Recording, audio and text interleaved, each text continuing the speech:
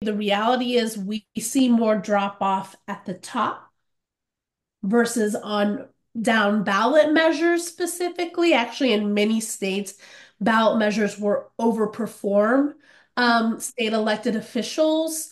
Um, uh, the uh, Amendment 4, which was the reproductive freedom um, ballot measure in Florida, which in any other state, 57% would be a, a significant majority and they would have uh, been successful.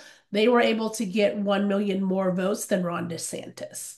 Um, so this is often what we see happen in states because people look at these issues and they're like, yeah, I'm struggling to make ends meet. I want to raise the minimum wage. Like that's a no-brainer for the for for uh for them. They aren't seeing a party D or an R next to that issue, and so they will often be more motivated to vote for for for those issues than they might be for candidates.